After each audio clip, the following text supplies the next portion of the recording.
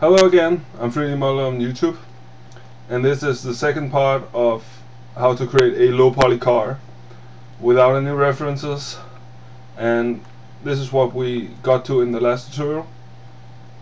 So now we're going to create the cockpit of the car and we'll do that by extruding the parts that we want to have as the, the roof of the car itself.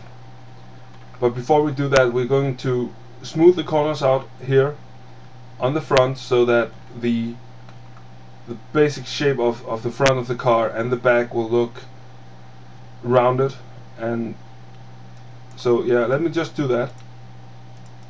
So I'm going to remove this backwards a little bit like so and the same with this part here.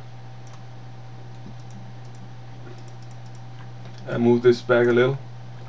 Um, we're only going to model one side because we can use the symmetry modifier afterwards. So now I'm going to select the parts that I want to extrude and then we're going to extrude them and we're going to shrink them down like so. I'm going to put those further down and yeah basically I want to round the the toe of the car as well so it looks a little bit smoother. And I'm going to move those up a bit as well like so. So now you can see that the front of the car is more or less square or flat and I want those to be a little bit have a little bit more of a round shape to them. So I'm going to move those up a bit and inwards and like so yeah probably move those a little bit to the side as well. Then I'm going to select the ring around the cockpit itself and then I'm going to connect them and I'm going to connect it with only one. And then we can expand that a bit like so. But yeah this doesn't look that good but we'll get back to that. So first of all I'm going to move these parts down a little bit. And the roof as well. Oops. So there you go. And then I'm going to apply the symmetry modifier I'm going to flip that. And I'm going to move the mirroring face of it a little bit to the side like so. There you go. Then I'm going to apply the modifier and I'm actually going to collapse it and remove one half of the car and reapply the modifier flip it and move it like so.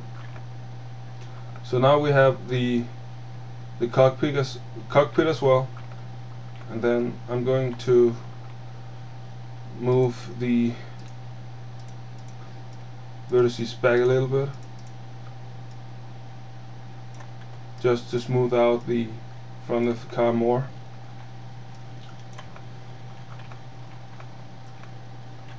so yeah there you go.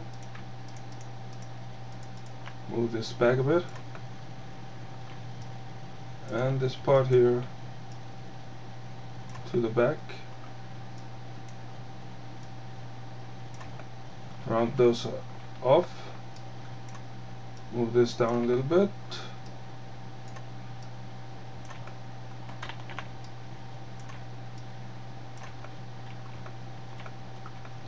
so yeah.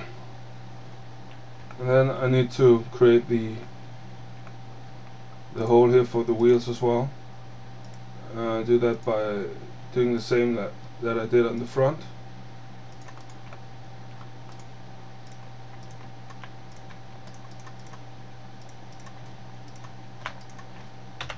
Remove it. Select the edge shift click and drag. Okay.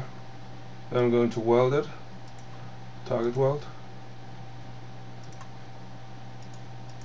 Then I'm going to cap it. And cap. And then you can move the different parts inward or to their position so that the shape is better like so so th this more or less resembles a car. I know this isn't a very beautiful car but it's a car nonetheless. And you can add the wheels and I'm just going to do that very quickly.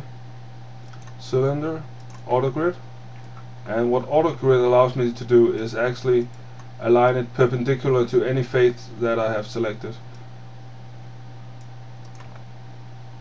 and the same thing goes for the back here. Then I'm going to select this and readjust the height. There you go. And if you take the main object and attach the wheels it will collapse into one single object. And there you go. You have your car. So this is a low poly car in the next tutorial I want to show you how to create a high poly car and to do that we're going to use a modifier called Turbo Smooth.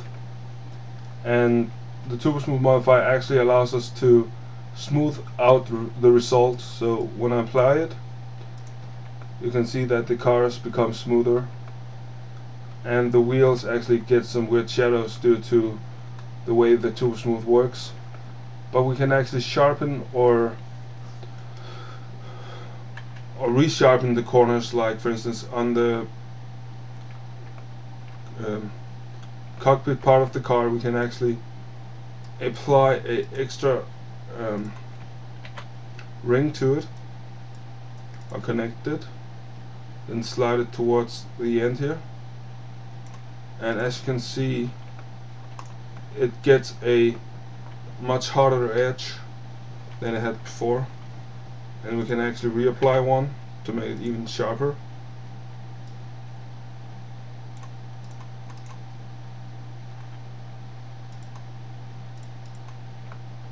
So there you go. So that becomes even sharper. And if you don't like the hard corners that comes on it you can actually increase the iterations that will obviously also increase the poly count but as you can see it becomes a lot smoother. So by moving vertices closer to each other you get harder edges. By moving them away from each other you actually get smoother edges.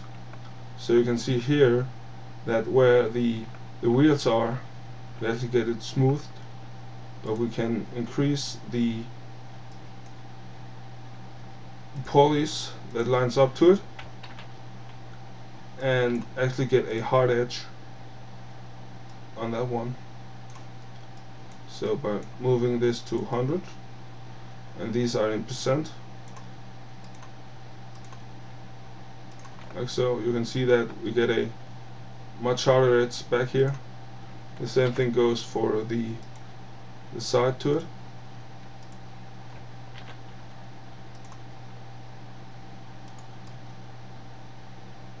but there are some problems with this. As you can see on the top that where these get closer we actually get harder edges. So what we need to do in the next tutorial we need to remove those to get those smoothed out. And we need to apply the same technique at the back wheels. And then we need to make room for lights and other stuff. So that's for the next tutorial. I hope to see you soon.